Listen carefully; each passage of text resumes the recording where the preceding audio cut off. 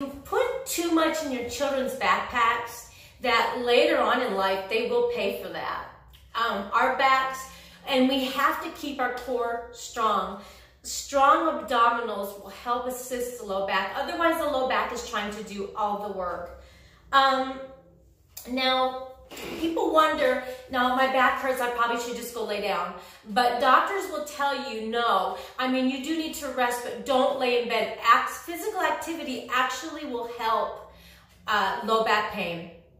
Um, of course, depending on how severe it is and what it is. I mean, it can be a ligament, a disc, muscles.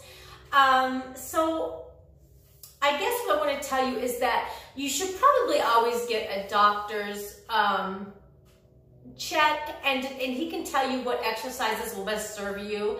Like I know that swimming is pretty safe because the water will kind of help support your back and you don't want to do any twist, you know, extra twisting in the water, but you could do some exercises in the water.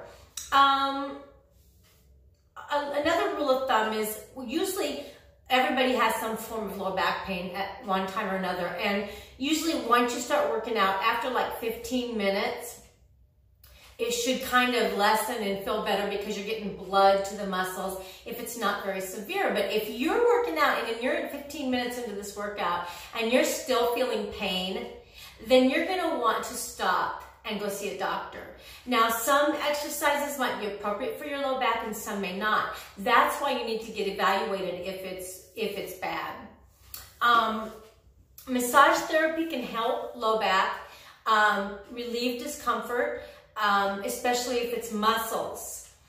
Now, a chiropractor, like, because massage therapists, we don't work with the spine, okay? We work, we relax the muscles around the spine. Chiropractors will, and osteopaths will work with the spine um, and the nervous system kind of balance it out. That could help too. Um, of course, there's shots, there's um, medicines. That's all between you and your doctor. But I'm just trying to tell you that if you're working out and this pain has lasted 15 minutes um, after a workout, you probably should stop. Now, I'm going to be showing you some exercises that are good for the low back because we need to start strengthening the low back. Um, i can tell you that for sure you don't want to do toe touches when you stand up and touch your toes because that's going to put extra pressure on your ligaments and on your discs.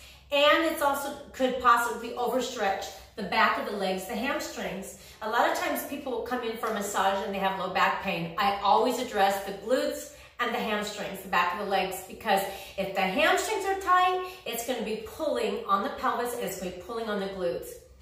So there's so many factors to consider. I'm gonna take separate videos and I will show you some exercises to do. So stay tuned because that's coming up next.